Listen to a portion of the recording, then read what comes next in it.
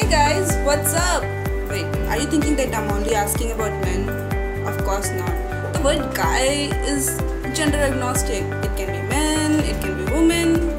So often when people ask me that you work in the go-to guy, is it a place only men work? Of course not. Why? Because I'm an example. I work here. The go-to guy is an equal opportunity employer. Happy Women's Day.